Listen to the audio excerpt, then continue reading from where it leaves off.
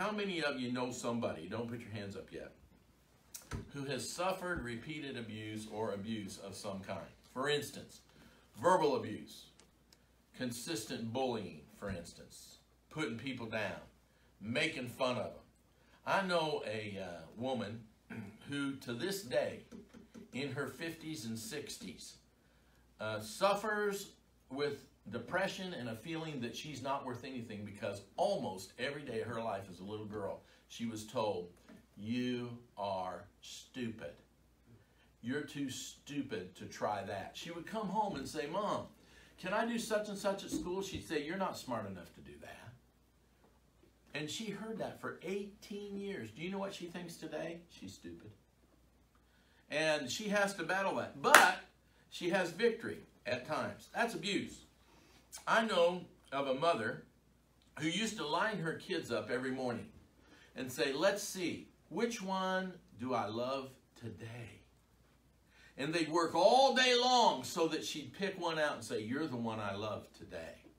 That's abuse. That's verbal abuse. That's emotional abuse. We know people who have been abused sexually, physically. Well, what's the difference between physical and sexual? Well, physical, uh, uh, uh, sexual is physical, but there's other kinds of physical abuse. And we know people who have been beaten and pounded and, and uh, abused physically. We know people who have been abused uh, uh, in other ways. Our speaker today will probably bring up some of those. But how many of you know somebody, I'm not asking if you have, somebody who has been abused? How many of you know somebody who's been abused? For those of you on Facebook Live, everybody's hand in the room is up. Everybody's hand. Now, here's the tragedy of it. Uh, a lot of preachers hardly recognize it, or they believe in the dump truck method of handling it. Somebody comes to them or to their attention and they want to help them with abuse and they dump a whole dump truck load of scriptures on the person and sort of like, okay, get out there, face your emotional trauma and so forth. And I know a man who did that with uh, someone. He's a pastor of a good church and he's a good man. But the person on the way out the door said, well, when's my next appointment? And he said, I only counsel people one time. My counseling for you from now on will be Sunday morning, Sunday night, and Wednesday night in church come and hear the sermons. Well, we are supposed to get counsel during church, but this person needed some special counseling. So a lot of preachers don't know what to do with this. They don't recognize the effects of abuse. And um, uh, so we have a counseling class. We also, Christian counseling class, we also have an advanced counseling class, and we, we do a little bit with this. But uh, we've had helping us here the last week and a half at the college, and she's getting ready to leave uh, Mrs. Wendy Jo Householder, and she has a ministry called Hope for the Hurting. And she counsels people every day on the phone or through texting or through messaging, sometimes personal, personally. Pastor in West Virginia a year ago uh, paid for her to come, had her stay in a hotel, and counsel a young lady uh, in his church who needed a series of counseling sessions to begin to just get a hold of things that will give her victory. And uh, so we've had her here and we asked her to speak in chapel. She is not preaching. you had a woman preach in chapel. What are you talking about? Uh, I have had ladies speak in chapel on first aid. I've had ladies speak in chapel on CPR. I've had ladies speak in chapel in my 35 uh, plus years of Bible college work on self-defense. And so take notes and see if there's anything here that you can get that will help you help somebody. You don't have to be a preacher to lead someone to Christ, right? You don't have to be a preacher to disciple a Christian, right? This is part of discipling someone. And she is uh, our teacher in our advanced counseling class, and she's going to speak on this. Just like I had Mrs. Marvin speak in our chapel on the library the other day, because she's a librarian. Okay? All right, Ms. Householder. Thank you, Dr. Miller, and good morning. Good morning. You all this morning. Um, as Dr. Miller has already stated, first of all, he's handing you a workout sheet, um, worksheet. Counseling is now you could take uh, a whole counseling course, a whole set of courses, but you're not going to learn everything you need to know about counseling in one chapel service. So this is really why behind it and some ideas. And you'll learn in counseling class, if you take the, the counseling course here, you will learn you are a counselor. You talk to your friends, you talk to your family members, you give them encouragement. That is what, what counseling is. Now, when people are in deep issues, they need some deeper counseling. But we're gonna start with our responsibility, um, with counseling the abused. Second Timothy four two says, um, to preach the word out of season, in season, rebuke, reprove, out of order, reprove, rebuke, rebuke, exhort with all longsuffering and doctrine. Now, needless to say, the very first thing, anytime you're working with anyone, is salvation. If they're not saved, then where do we even begin? So first of all, we need to either verify that they are saved, or we need to lead them to the Lord. Amen. And if they are not saved and don't desire to get saved right now, that has happened, you can still work with them and offer them as much help as possible with a heavy emphasis on salvation. Amen. And hopefully you'll be able to win that person to the Lord. Now, to reprove is to convince or convict. Now, if you think about this, these are the things that we need to do when we're when we're talking with the abused. To rebuke them, to show them what they need to not do, and and why not to do it. To exhort um, is to join in with obedience. So we're going to obey the Lord, and we're going to do it together. I'm going to be an example to you. I'm going to take you by the arm and do it with you.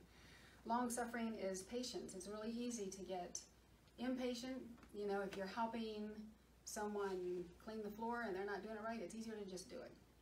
That's being impatient. We need to slow down and make sure they get what they need. And then doctrine, instruction, giving them biblical instruction. Um, we do need to listen. A lot of times somebody just needs to talk, talk, talk, talk. And I spend a lot of time listening. If you listen, a lot of times you will hear um, underlying issues that they haven't told you yet. So they'll start off by saying, um, I have this catastrophic problem, and you just let them talk. And before long, they're either going way back, and this happened, and that happened, and I feel this way because. So just let them talk. Be willing to listen. And sometimes they unravel things themselves while they're talking to you. So they'll start off saying, I don't understand why this is happening, and then by the end of the conversation, they're saying, well, I understand that this, this, and this, and they just now figured it out. So they need to talk.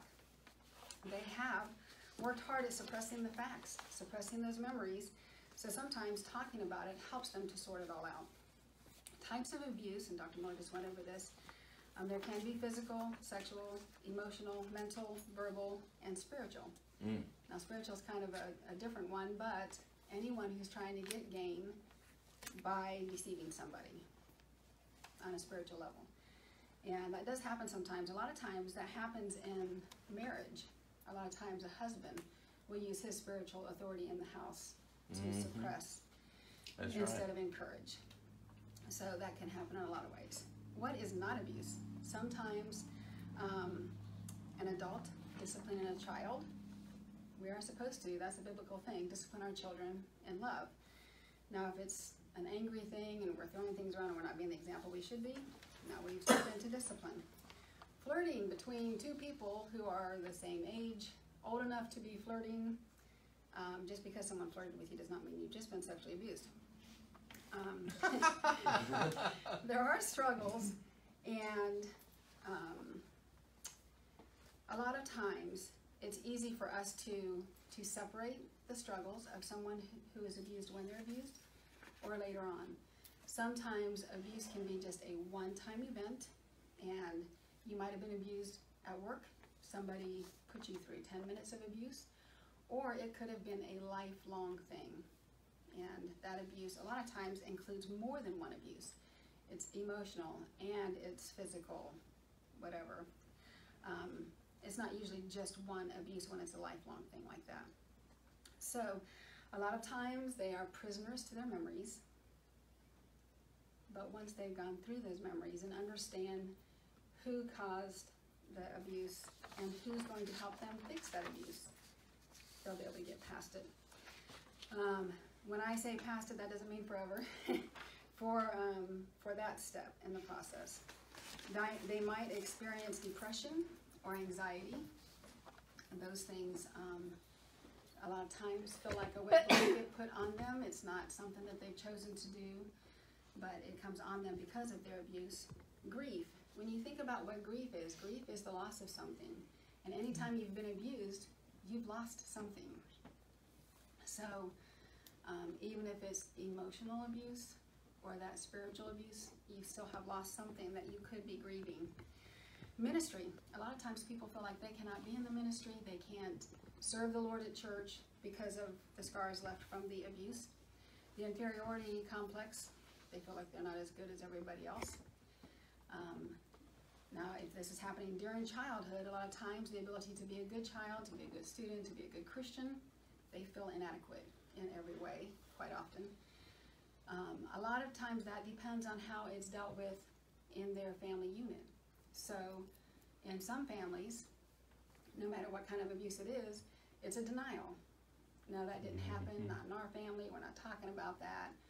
Or it's over the top sympathy. Oh, you poor thing, and they're, you know, mom's telling every family member or every visitor that comes through the door, and that child learns, I get attention because of this. So now that child wants to tell everybody. That's an unusual thing. Usually, when someone has been abused, they want to keep that to themselves. They want to hide it. They don't want anyone to know about it. But the person who latches on and wants to develop a relationship with every single person that comes along, just long enough to tell them, but then they still want to be arm's length. It's not very often, but it does happen. And again, it depends on how their parents dealt with it when they were children. But then that is carried on into um, adulthood, the ability to be a good spouse, to raise their children, to serve the Lord themselves, to teach their children to serve the Lord. All of that is affected by I feel inadequate. I'm damaged goods.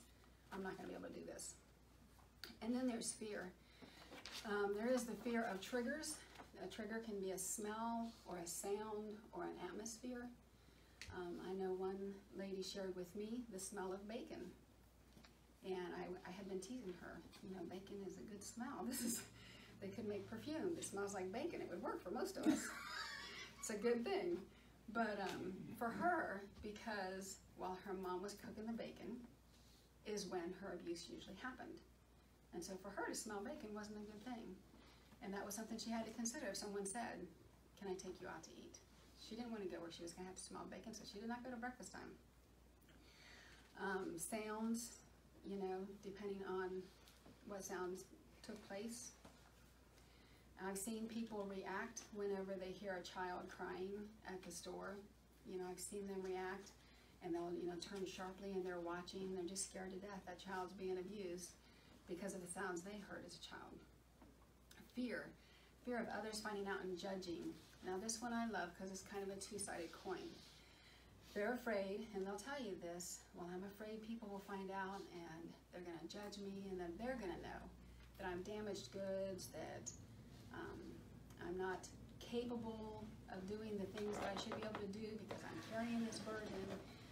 And at the same time, the reason their friends, coworkers, family doesn't know is because they're not carrying it out there. So what is their family member thinking of them? A lot of times, the very person who's been abused is very sweet, very kind, very gentle. Would most people would say, "Wow, she's really a good Christian." Most people have no idea. So, what are the chances that everybody's judging you? Um, so we start with the Lord loves you and has a plan. Amen. Now we know the first thing is we want to get them saved.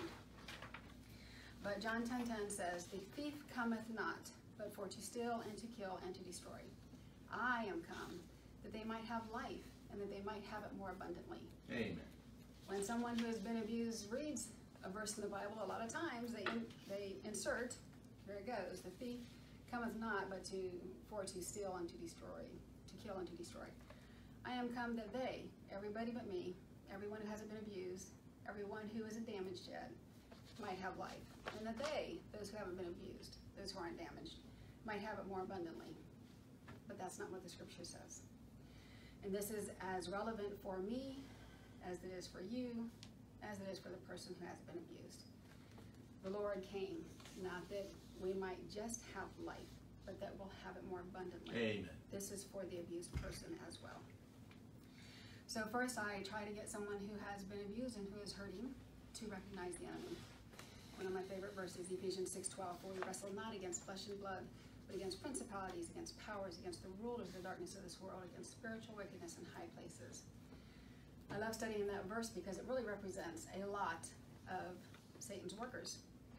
We're not just, we don't have just one um, satanic being attached to us to follow us around and antagonize us whenever we're attacked. Uh, quite often we're attacked by a throng. So it's not just um, flesh and blood. And that's where most people start off with, well, my mom did, or my sister did, or my uncle did. But who was behind that? Why did that happen? Um, so we need to recognize that Satan is our enemy. And when I taught middle school, I used to say to my students in the morning, who is number one most powerful? And of course they would say God. And then I would say, but who is else more powerful than us? Less powerful than God, but more powerful than us? Satan. We don't have the ability, we can't fight him, but the Lord can. God wants your body as it is. Romans 12, 1. I beseech you, therefore, brethren, by the mercies of God, that you present your bodies a living sacrifice, holy, acceptable unto God, which is your reasonable service. This is just the most basic thing, but for someone who's been abused, they are so self-conscious about their body and the abuse that took place, no matter which department of abuse we're talking about, which kind of abuse, they still feel like, I can't give this to God. This is damaged goods. We want to give our best to the Lord. And we do. We want to dress our best for the Lord when we go to His house. We want to give our very best gifts to the Lord. But He says right here, He wants us to give Him our body. He knows what our bodies have been through. He knows what we've had to deal with, and yet He wants us to give our bodies as a living sacrifice. So, even if you've been abused, that's where we start. God wants you. God loves you. Amen. He designed you. He wants you to give yourself as a living sacrifice. God does have a perfect will for you. And I don't know why, but when we've been damaged, we think that we've stepped out of that, and God does not have a perfect will for us. Romans 12, 2. And be not conformed to this world, but be transformed by the renewing of your mind, that you may prove what is that good and acceptable and perfect will of God. Um, when we've been abused, there are a lot of things in our mind that we need to get out of our mind. So, renewing, transforming our mind, be ye transformed. We can be transformed by the renewing of our mind. That is God's perfect will for us. That's God, God's perfect will for us, even if we've been damaged, even if someone's hurt us, even if we're walking around with a gazillion things in our head we would like to not be in our head. Still, God wants to transform us by the renewing of your mind. And um, the way we do that is with His Word, and we're going to see that in a minute. So, obedience. Everything hinges on obedience. The first step of obedience is getting saved. Amen. Um, James 1.22 says, But be ye doers of the word and not hearers only, deceiving your own selves. When we are hearers of the word, we are deceiving ourselves. If that's all that we do, we're, we're deceiving ourselves. And we see that at Reformers Unanimous. Um, we'll have people come and they'll tell their family, I'm working the program, I'm going every Friday, and they're not working the program. They're not doing the challenges, they're not reading their Bible, they're not studying their Bible, they're not memorizing verses. So they're not really working the program. Um, if we will do what the Lord has shown us to do. And that's why whenever we're working with someone, we don't say, here's a list, do all of this. This is everything God's convicted me of, so here it is, you do it. We don't do that. They need to read through God's word just like you did and become obedient to the very first thing the Lord shows them. And then be obedient to the second thing. And then be obedient to the third thing. If we will be doers, obedient, doers of the word, and not hearers only, then we won't be deceiving ourselves. Psalms 1 2 says, But his, this is referring about the blessed man, his delight is in the law of the Lord, and in his law doth he meditate day and night. So, what are we meditating on? If we want to be the blessed man, whether we've been abused or whether we haven't, the abused person wants to be blessed as, as well as the rest of us. We must meditate on God's word day and night. So, if it's day and it's night, when is it that we're not going to meditate on God's word? Hmm. What's in between? Nothing. Day and night. Meditate on His word. Um, the blessed man's delight, his delight. So, not a chore, it's his delight. He enjoys doing this. And we would enjoy it. If we got the blessings from it, we would enjoy it. Um, so, what are you going to meditate on? And Isaiah 40, verse 31 says, But they that wait upon the Lord shall renew their strength. They shall mount up with wings as eagles. They shall run and not be weary. They shall walk and not be faint. This verse, although we find it very comforting and very encouraging if you have been abused, this verse is amazing. It's more than just comforting.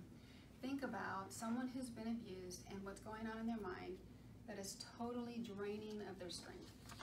They just feel down, depressed. Oh, I need to do this. I need to do that. Just the basic things. It just sucks the life out of them. So, they that wait upon the Lord shall renew their strength. Did you notice it doesn't say that they who wait upon the Lord, their counselor, will renew their strength for them? They will renew their strength. They shall mount up with wings as eagles. Have you ever seen an eagle fly? That's that's some incredible time with the Lord right there. They shall run and not be weary. They shall walk and not faint. Ephesians 4:23 says, "And be renewed in the spirit of your mind." Now, verse 22 talks about putting off the old man, and verse 24 talks about putting on the new man. And those of you who have a laundry basket, you know that yesterday's clothes are not what you want to be wearing today. Amen. We need to put on new. Um, so this is what we want to do: be renewed in the spirit of your mind. That was Ephesians 4:23. Galatians 2:20 says, "I am crucified with Christ. Nevertheless I live, yet not I, but Christ liveth in me. And the life which I now live in the flesh, I live by the faith of the Son of God, who loved me and gave himself for me." So if you think about this verse, the same power in the Lord's salvation Son of God, who loved me and gave himself for me, is the same power he's going to live through through me. He's going to do this for me, but Christ liveth in me. So when I'm talking to someone who's been abused and I'm trying to tell them, God can renew you. His word will renew you. His word will strengthen you. They often feel like, oh, I'm not going to be able to do that. And that's an easy one. Yeah, you're not. But Christ will do it for you. Psalm 119, verse 114 says, Thou art my hiding place and my shield. I hope in thy word. We, we do have hope, and it's in his word. Um, sometimes it's hard to motivate someone to spend the amount of time in God's word that they need to in order to get the help that they need. Because they'll want to do, you know, well, just let me get this little two minute Devo out of a booklet or something. That's good, that's helpful. But they really need to renew their mind. They really need to spend some time in God's Word. So um, that's where our hope is. That's where we want to anchor our hope. Now, I can't take a big old long list of things and tell the abused person, start here, and then do this, and then do this, and then do this, and then do this. Because everyone's journey is different, and the Lord is going to show them different things that they need to work on. And so they need to work on things as the Lord shows them to them. So, what do you do? You start with, um, first of all, ask the Lord, what is it that I should be dealing with next? You don't have to deal with all of it at one time. Daniel 2.47 says, The king, we're talking about Nebuchadnezzar, answered unto Daniel and said, Of a truth it is that your God is a God of gods, and a Lord of kings, and a revealer of secrets, seeing thou couldst reveal this secret.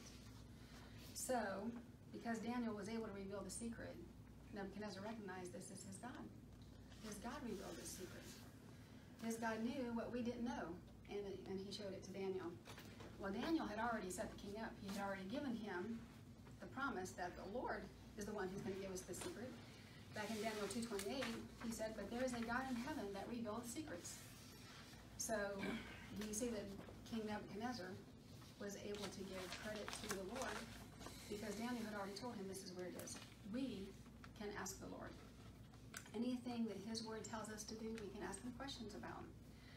So, do what we do know to do. James four seventeen says, Therefore to him that knoweth to do good and doeth it not, to him it is sin. What is it that you do know to do? So when I'm talking with someone who is addicted, um, in Hebrews ten, it says, not forsaking the assembly. We already know we should be in church. So what is it that we should do? We know the good to do is to be in church. We already know to be in God's word. We learned that from the blessed man. Psalm one also tells us to choose godly friends. When people are really struggling, quite often they need to look around and see who are they sharing their time with. And Psalm 5 tells us about our prayer life, starting off first thing in the morning, getting with the Lord. And then, of course, in Mark 16, to be a witness. So once we are, now this isn't the cure all, it's just doing the basics, just doing what the Lord has told all of us to do. And we're not exempt because we have been damaged. We're not exempt because um, we don't feel adequate. God wants us to do what we know to do. So the basics, just get busy with the basics and then ask the Lord, what is it that you want me to do? Now, if you're the abused person is talking to a counselor and they're going through hashing through memories and a lot of times it comes out not in chronological order, it's pieces, parts, and you kind of have to put it back together. It'll reveal to them things that the counselor will see needs to be worked on. So that's a good reason to seek a counselor. Um, but one tool that we do have is Restored Living and Loving After Abuse by Dr. Don Woodard. And what I like about this book, when Brother Woodard emailed me and said, Would you please read this book and let me know what you think? I fell in love with the teddy bear. He literally says the fellow who took the teddy bear and he gets back into God's Word. So, for years, people have said, Isn't there something that I can read? And the books that I have come across that I've read are not books that somebody could read if they had been abused. It's too emotional for them. So rather than dragging you through all of the stories, there are some accounts, testimonies in the back. He puts the teddy bear in there. So every single time he's, he mentions the teddy bear, the person who's been abused, what do they think? They, they know exactly what happened with them. So they're not being dragged back through it. Now, if you work all the way through this book, by the time you get to the end, you can probably read those testimonies and it's not a problem. But if not, you know they're there. You don't have to read them. Um, the very first chapter in the book is Somebody Does Love You. And he talks about how God's love will help you through this in John 4. And he uses the woman at the well to um, explain that. He does a really good job. And then chapter 2 is a new journey. And this encourages you to understand that the Lord does not want you to be where you were.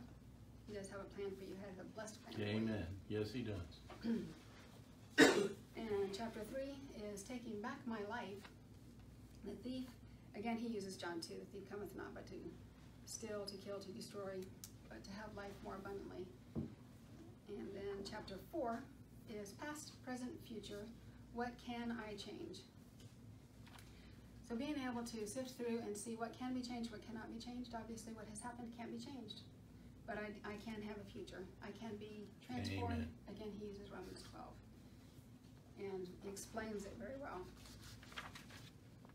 The power of forgiveness, Ephesians 4. Be kind one to another, tenderhearted, um, forgiving one another. He and he explains the importance of forgiveness, how we are hung up by our lack of forgiveness. It, it holds us back, but we are blessed when we do forgive because that's obedience to the Lord, and He shows us how to do that. And then chapter six is questions from the heart, answers from God. This has got to be probably one of the most favorite um, chapters. It is full of all the questions everyone asks, and he gives us good biblical answers to those tough questions. And then chapter seven, trust God and His Word. Trust. Sorry, trust is the chapter. He teaches us to trust God and His Word, the source of healing and restoration, to guide you into the path of living and loving again. And again, without His Word, where to begin? Confronting Giants, chapter 8, proof that the Lord will help you fight the giants in your life. Amen. And he talks about David and Goliath. And I love that um, the example that he uses there goes into chapter 9 prepare for warfare. And David prepared with the tools that the Lord gave him, but the Lord supplied the power Amen. in order to win that battle. And he'll do the same thing for us. Chapter 10, self value. Our value actually lies in God's sacrificed Son.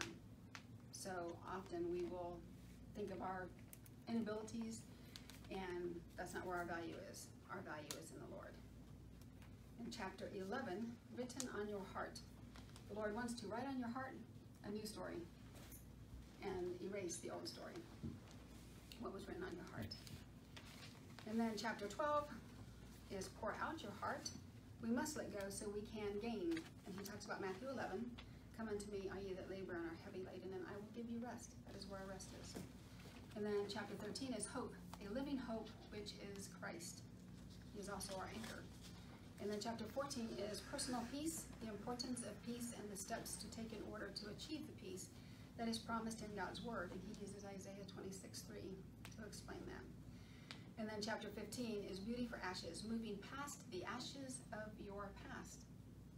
And that's where everybody wants to be. It's in your hands. And then chapter 16 again is those testimonies that I was telling you about.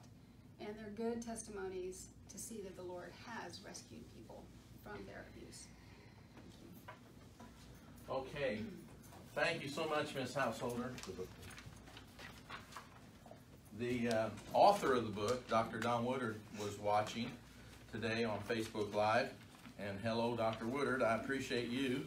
And I think in this book somewhere there's a recommendation by me somewhere in this book. Is that right? I think so. Yeah, I think so. And uh, if he didn't take me out of there, we're friends. And he abuses me. Oh, no, no, I'm just kidding.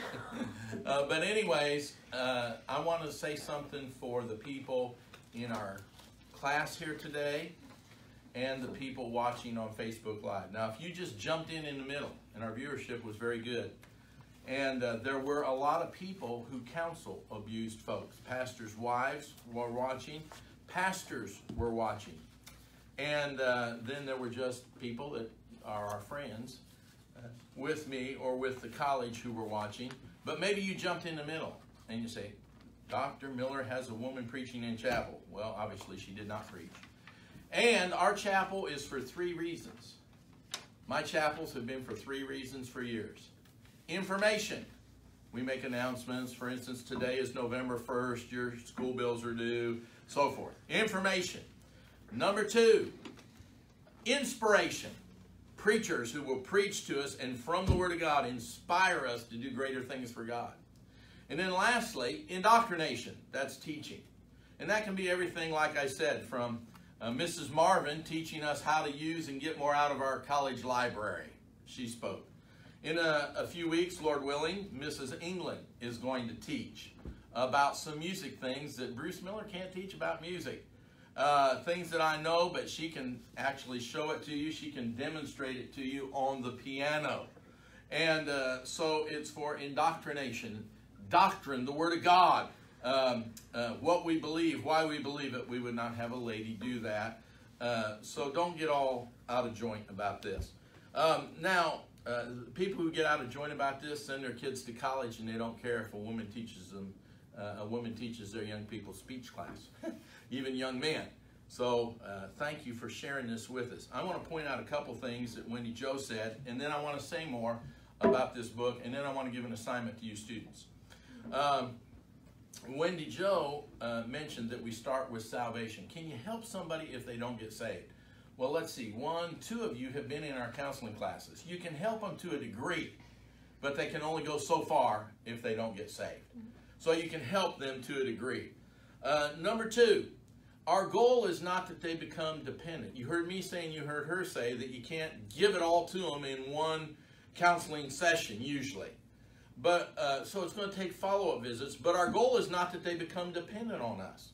I know some people who the the counselor actually wants them to be dependent on him or her, him or her, and um, that's not our goal. our goal is that they can become dependent solely on the Lord and help other people through these types of things.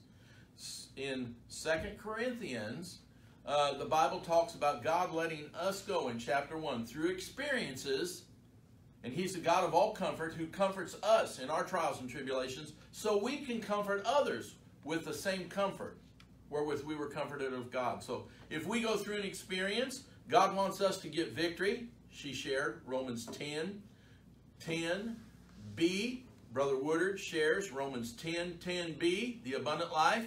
God wants us to have the abundant life, but he, he wants us to help other people who don't have the abundant life get the abundant life. So he lets us go through these things so we can help other people uh, through these things. I want to point out another thing too. When Brother Pete preaches here, or Brother Kyle preaches here, or others who will be coming through here, we always are thankful to mention that they're graduates of Atlantic Coast Baptist College, and Miss Householder is a graduate of Atlantic Coast Baptist College also. Now, students, here's your assignment, and then I want to say something about this book. Don't check out on me before I say something about this book. Uh, students, write this down. Here's an assignment. Uh, next week, next week by Wednesday, next week by Wednesday, I want you to turn in this handout. I saw some of you, man, David, he's got his front page all filled in. I want you to turn in this handout. I saw some of you, and I'm not, I'm not being mean to you, but you didn't have anything written down here. I want you to review this material. Uh, just like in your journal, your daily journal, you write down sermon notes and review those. I want you to review this lesson material because it's for you to help other people with. And every one of you students said, I know somebody who's been abused. Okay? So uh, I want you to turn it in. Now, if you're, uh, here's a good way to do it. We're going to post today's lesson. Go back and watch it again. And if you have to, stop it. Write down the notes for that section. and it's okay, students, for you this time to share your homework with someone else. Uh, hey, Dave, I saw you wrote a lot. Can I, can I see your notes? Just make sure you get them back, Dave. But uh, if you're a good Christian, this time you'll let them see the notes. You will not get expelled for cheating this time. It's not cheating, all right? It's helping somebody and sharing. So that's your assignment, Wednesday. Turn this in, please. And uh, this is not exhaustive. She said we can't cover everything in one lesson. This is just to prick your awareness. There's a problem. We can help them solve the problem, and God will solve the problem if they're doers of the word, not hearers only. Now, Dr. Woodard has written, I want to talk about this book now Restored Living and Loving After Abuse. This title goes against what the world teaches about counseling and abuse. When it's found that someone is the victim of something as terrible, a child, something as terrible as sexual abuse, and it hits the news, the first thing you hear is, they're scarred for lives. The life. They'll never get over this. That's a lie of the devil. Because remember, he wants to destroy and steal. He wants to steal their future. But God came to give us the abundant life. We can get over it, but not if we bury it. But we can get over it. Okay? So, just his title smacks the world's premise that they're scarred for life. They can't get over it right in the face because it says restored, living and loving after abuse. All right? I love his title. Uh, Dr. Woodard has written a lot of books, and uh, several of them are excellent for counseling. One is on grief.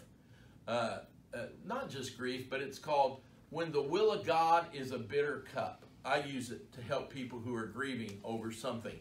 But it's when things in life you had to experience something right smack dab in the will of God, but it's a bitter cup to swallow. Uh, and that's an excellent book.